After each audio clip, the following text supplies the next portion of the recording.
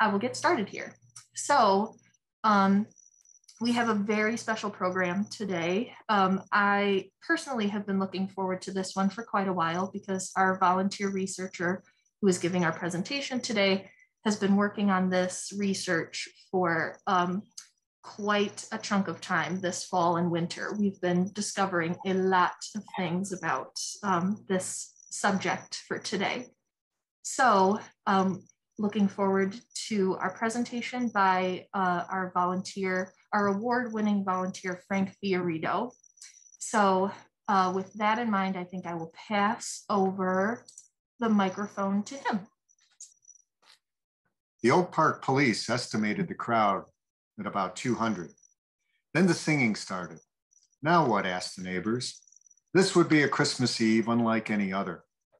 The strange events that took place in front of the Cuyler Avenue home of Dorothy and Harold Martin in December of 1954 weren't reported in the Oak Park press, but had ample coverage around the country and world. Perhaps what happened here was too controversial for the conservative Oak Park of the 1950s. After all, they involved communication with the spirit world, flying saucers, and a group of believers so committed that they risked relationships, careers, and financial ruin. Anticipation is a word that well applies to this time of year. It is a looking forward to something good. We anticipate the gathering of friends and family at holiday parties and the start of a new year. Children anticipate the arrival of Santa Claus. Apprehension is a word that also describes looking forward, but with dread of what might be coming. The years since the end of World War II had been worrisome with the dawning of the atomic age and start of the Cold War. What would 1955 bring? That December, the group gathered at the Martin House were experiencing both apprehension and anticipation. Apprehension about a rapidly approaching catastrophe, a flood, prophesied to end life on earth in anticipation of timely rescue by intelligent and compassionate beings, aliens who would take them to safety on the mysterious planet Clarion via uh, flying saucer. These believers included a middle-aged Oak Park grandmother named Dorothy Martin, a Michigan State University staff physician named Charles Laughead, and a small group of followers by 1954, the Martins had already been living at 707 South Cuyler for a few years. Dorothy was a lady in her 50s. She wore her dark hair in a tight bun and was pleasant enough, but you had to be careful when getting into a conversation with her, unless you were open to some very unusual perspectives. The first inkling of the neighbor, that the neighbors had of something unusual happening in the Martin household came in July. The chatter across backyard fences certainly increased when the Oakleys reported that Dorothy had been hosting Mr. Truman Bethurum while he was in town to promote his book, Aboard a Flying Saucer.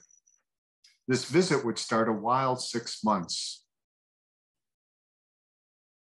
Dorothy Lilly was born in West Virginia. Her first marriage resulted in the birth of a daughter, Marie. Harold Martin was born in Missouri his first marriage resulted in the birth of a son, David.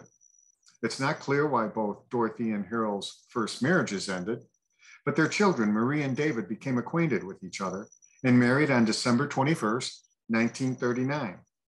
Dorothy and Harold married on April 15th, 1941. By the 1950s, Dorothy and Harold were living on Cuyler Avenue across the street from Longfellow School. The 1950s were anxious times.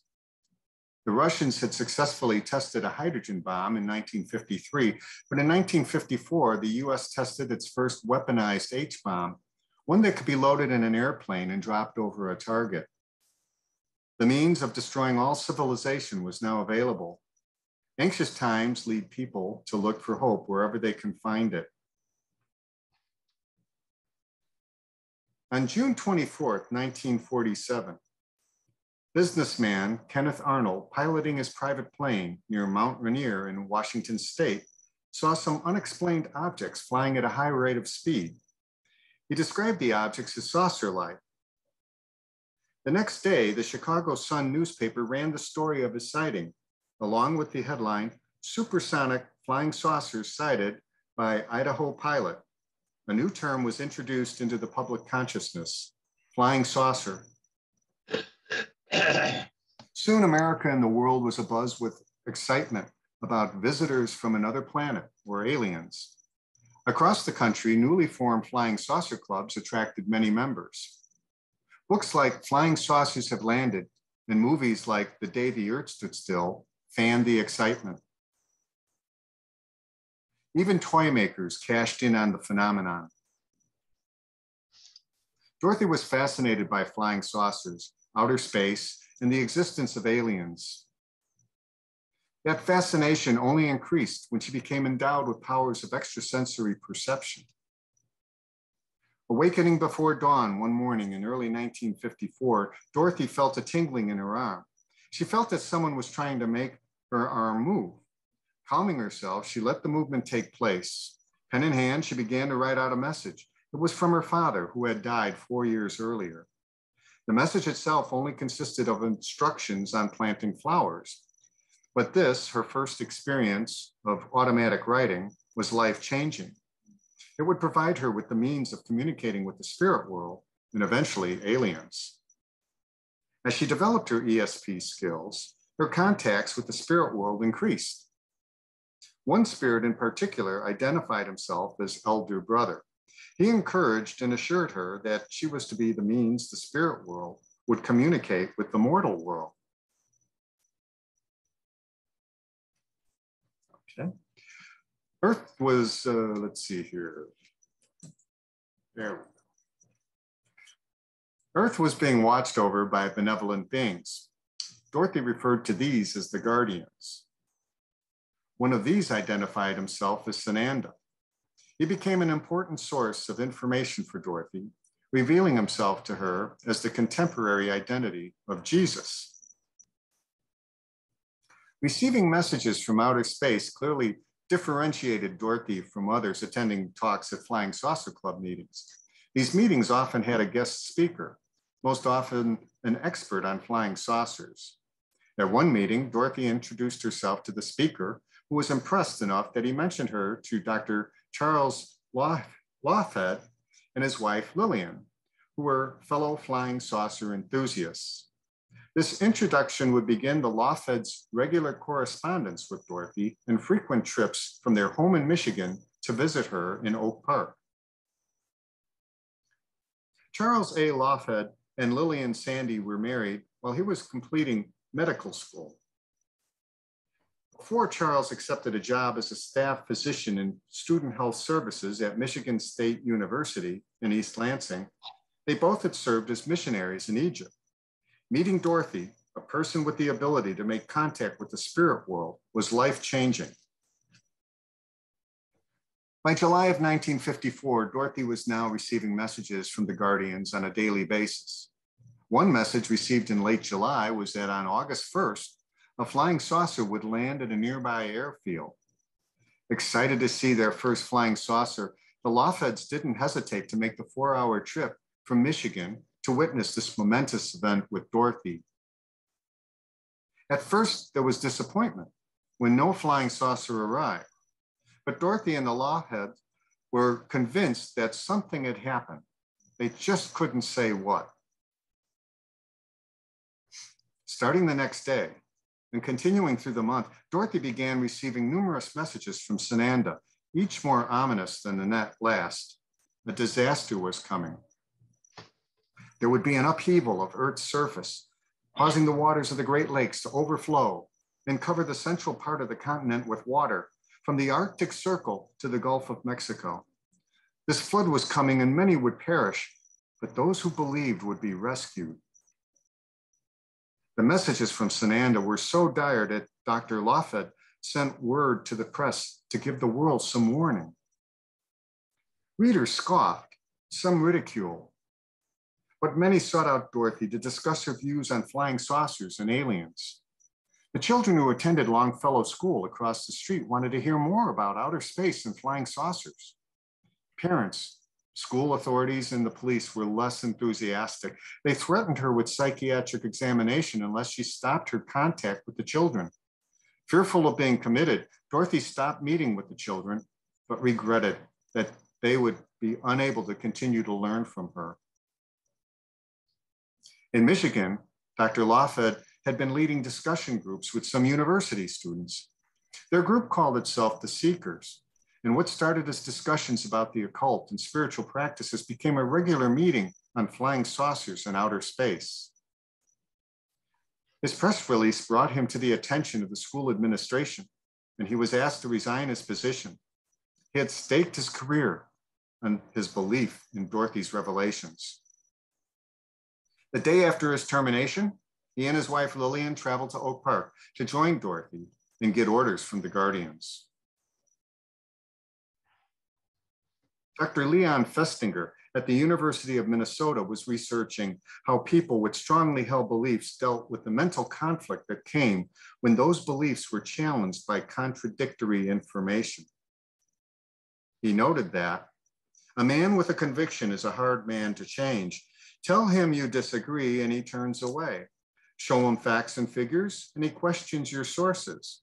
Appeal to logic and he fails to see your point. People reject explain away or avoid information that conflicts with what they believe or assume to be correct.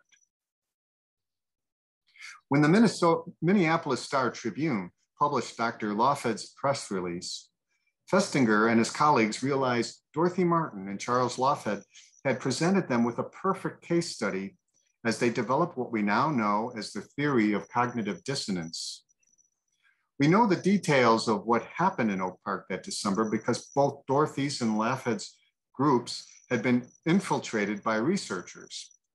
In 1956, their observations were reported in the book When Prophecy Fails. Once the word was out about Dorothy's contacts with outer space, activity picked up at the Martin home. A growing number of followers were calling on Dorothy, and by November, meetings at her house seemed to be a daily occurrence. Many meetings would begin after 9 p.m. and run until dawn. The once quiet neighborhood was now subjected to activity at all hours. Things really got interesting after midnight on December 18th. That day, someone looking into the Martins' backyard would have seen a group of people standing in the cold and snow, looking up to the sky, waiting for something. They were waiting to be picked up by a flying saucer, waiting and waiting until well after 3 a.m. How could the neighbors not notice? The Guardians had assured the group that they would not be left behind to perish in the flood, but must be ready at a moment's notice for the arrival of a flying saucer. They warned that on board a flying saucer, contact with metal would burn the skin to remain constantly prepared for rescue, the group made sure they had absolutely no metal on them. They ripped the zippers out of their trousers. Belts were discarded in favor of rope tied around the waist. Plans were made to quickly discard eyeglasses with metal frames or shoes that might have metal heel taps before entering a flying saucer.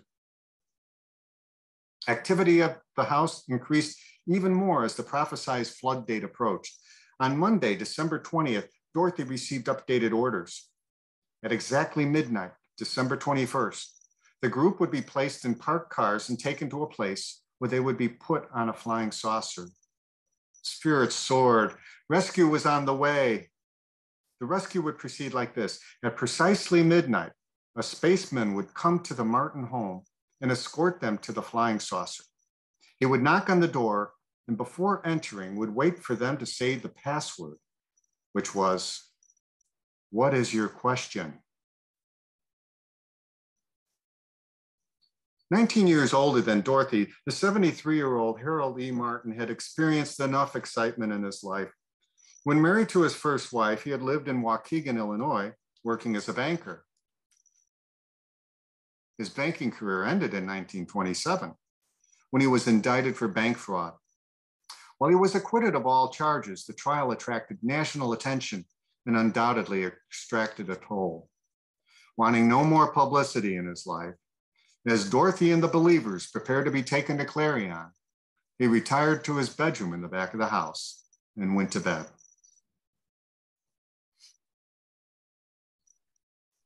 At 11:15 p.m., the group of 15 believers put on their overcoats and gathered in the front room awaiting midnight. The hour had two clocks ticking away the minutes. One ran about five minutes fast, and this one chimed the hour first. Now attention was on the second clock. As it approached midnight, Dorothy shouted out, and not a plan has gone astray. The second clock struck 12, and the group sat in silence. There was no knock at the door. They hadn't been rescued, and the dawn of December 21st approached. Would they be swept away in the flood after all? Then Dorothy received another message. She could barely contain her joy as she told the group that because of their deep belief, the foretold destruction had been called off. By their faith, they had saved the world. Happy for the miracle that had occurred, Dorothy and Charles still looked forward some sign that while there was no flood, some part of the prophecy had happened. when the newspapers reported about an earthquake in California, Dorothy and Charles felt justified. Something indeed had happened. While relieved that the flood would not take place, there was disappointment about missing the opportunity to travel on a flying saucer. Still, this was to be a joyous time. Dorothy received a new message with instructions that at 6 p.m. on December 24th, the group was to assemble outside the Mount Martin House to sing Christmas carols. They would be visited by spacemen who definitely would arrive by flying saucer. This was to be a celebration, and the group was specifically told to invite the public. So on Christmas Eve, precisely at 6 p.m., Dorothy's group and a group of 200 boisterous onlookers stood in front of 707 South Cuyler to sing while awaiting the spacemen. The singing went on for a while, but after 20 minutes and no obvious visit by spacemen, the singers went back inside.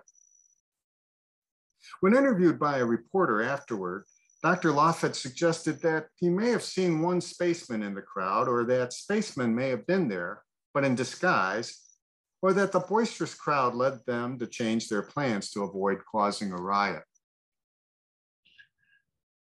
As the events of December unfolded, Dr. Laughead's sister had taken steps to have him declared mentally ill. He submitted to a court ordered psychiatric examination. He was pronounced sane, but mistaken.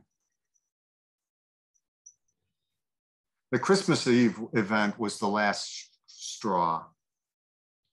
The police told Harold that either Dorothy would seek out psychiatric help or she would be charged with inciting a riot, referring to the, the mob attracted on Christmas Eve, and contributing to the delinquency of minors because Dorothy's talk about space travel made some children so upset they couldn't sleep.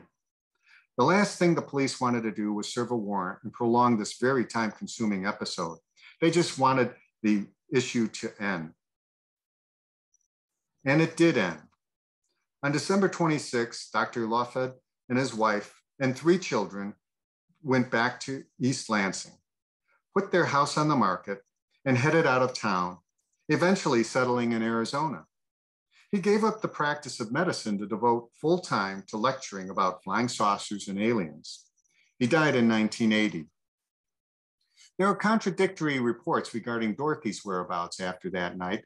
The most often repeated is that she headed to Peru to study with a community called the Brotherhood of the Seven Rays.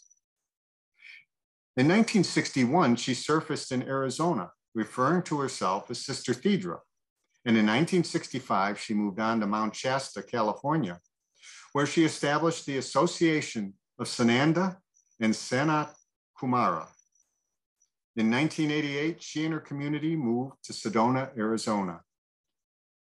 Sister Thedra's many writings are still in print. Dorothy Martin died in 1992. Along with other homes on the block, 707 South Cuyler was acquired by the school district and is now a playground area for Longfellow School. Oak Park witnessed these events, observed and recorded by Dr. Festinger and his researchers. What happened on Cuyler Avenue that December provided case study support to validate the theory of cognitive dissonance. Our daily life is filled with countless examples of the theory at work. We see it in the behavior of others, and we see it in ourselves. Thank you. Oh, thank you so much. So I, I'll have you hmm? stay there. Okay.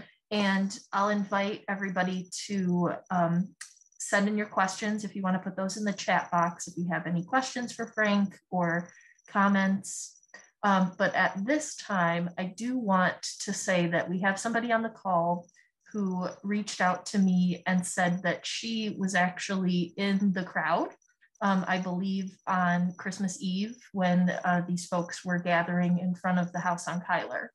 So, Deborah, if you feel like you want to turn on your speaker and, and share some of your memories of that event, I would love to hear that. Hi, yeah, I we lived at 624 South Cuyler, right across from Longfellow Park in the middle of the block. And I don't recall it being Christmas Eve. I may have gone on a different day. I think as a child, I was uh, had just turned five. and My birthday was in November, so this was quite a, a long time back. But I remember going down the block and my mother telling us um, that there was a woman on the roof. She said, I recall her saying it was on the roof of the house. And um, she was waiting for the Martians to come and take her. That's, you know, from the, she called it Martians at the time. Mm-hmm. And um, I went down there and I had just gotten a duck that summer, um, oh. a little baby duck. And it was, it had grown up and we were about to give it to Trailside Museum. But I remember crossing um, at the corner, uh, crossing Jackson Boulevard, and there were uh, TV stations and photographers and everybody there, a lot of people. And I crossed the, the street and all these cameras went on me with this duck following me. I had a duck following me all the way down the block. Donald was his name, very clever. But I, I just remember us standing there and talking about it. Um, I had just been a kindergartner at Longfellow School. I started when I was four. And I don't recall it, anything going on in the school, but, um, and I don't recall being upset by it, but we waited and nothing happened and it went back, we went back home and that was it. So, but it was, it was kind of a thing that you have in the back of your mind. And at that age, you know, you don't recall everything clearly, but I just remember a lot of people, we had a, uh, uh, Ray the policeman who was our crossing guard, he helped us across the street um, on Jackson Boulevard there, and there was a little delicatessen on the corner. But it, it was on that side of the block, and when when I saw that written, I thought, my gosh, that must have been the thing I went to. So it it jogged my memory quite a bit. Oh my gosh, how wild! So I never was. Uh, that, um, I didn't have any nightmares or anything. We're probably in the film footage that they were taking for for the news reels and everything. And um, once you said that, uh, Frank and I the other day were looking at some of the photos that you were mm-hmm. finding in all of these different publications, and we were looking for you and your duck. Mm-hmm. Um, yeah, my duck. Didn't see any, but there's got to be some footage somewhere of that. Someplace, yes. So, what other like publications were you looking through? Because you we we saw a lot um, of headlines that you were finding, mm-hmm. but it was kind of covered all over the place. It, it was, and um, I'll take this off again. One uh, of the best photos um, was of uh, Dorothy in the crowd. Um, it was published in the St. Louis Post Dispatch, and um, there's a um, uh, I want to say a couple of years ago, one of the um, editorial writers for the St. Louis Post Dispatch uh, published an online uh, article about um, the event and uh, or the issues around the event, basically cognitive dissonance and and uh, current events, if you will, and had a nice photograph um, that is owned by the Associated Press, and so controlled very tightly by them. Um, one of the photos in here is uh, of uh, Dorothy and Dr. Uh, Laughead um, in the house, and that um, is from an episode of, uh, excuse me, an edition of Life magazine, which is available. If you uh, search online, you should be able to find that that issue, and and it has you know like a, a recap of various things that happened in 1954, and that's one of the pictures. Um, the rest of the pictures that uh, I was able to find uh, were from newspaper articles and, um, and basically just newspaper clippings. Um, and um, uh, it just was so widely covered uh, that that was um, uh, picked up by many, many newspapers throughout the country and even in Canada. Mm-hmm. And um, uh, it was uh, interesting to see the coverage, uh, whether it was just a mention or if it was a full blown article, probably depended on the, what, what else was going on in the news that day. So. When you said um, that it wasn't covered so much. Well, thank you, thank you, Deborah, for sharing. This is wonderful to hear, and thank you, Frank, for for sharing and for all of the research that you put into this. Um, very careful, very thorough research. And um, it's obviously a topic that has has come up in different ways in in recent times. And I think it's it's wonderful to to study and to know that this sort of thing was um, a, a topic of discussion in Oak Park, even at this point in time. So it's fascinating to, to hear and to have you share. You're welcome. I enjoyed it. So I think with that, I will have us all sign off for today. Um, and I want to wish us all a happy holiday season.